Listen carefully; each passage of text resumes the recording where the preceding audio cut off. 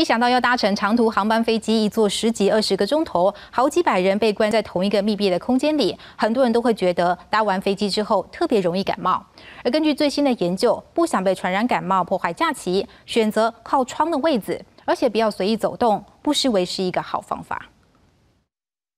春暖花开，又到了旅行的旺季。不过，同时也是季节性流感爆发的时刻。机场出现不少戴着口罩的乘客，不想抵达目的地就被病毒攻陷，影响玩性的旅客使出保命绝招。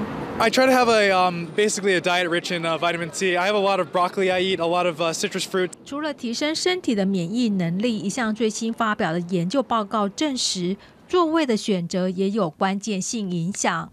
Approximately 40% of people in window seats uh, get up during the flight, approximately 60% in middle seats, and approximately 80% of people seated in aisle seats get up and move about and fly. 选择靠窗位置，因为不方便走动，降低在机舱内啪啪走、东摸西摸感染病毒的几率。但要在飞行途中完全不离开座位，短程还可以，长程搭机就很难不起身上个洗手间。